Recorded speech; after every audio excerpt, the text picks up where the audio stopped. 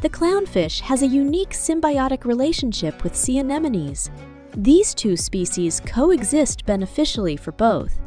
The layer of mucus on the clownfish's skin protects them from the stinging cells of the anemones, allowing them to dwell inside without harm. In return, the clownfish provides food to the anemones in the form of waste and leftover food. This symbiotic relationship showcases how nature can find unusual yet efficient ways of cooperation and survival between different species.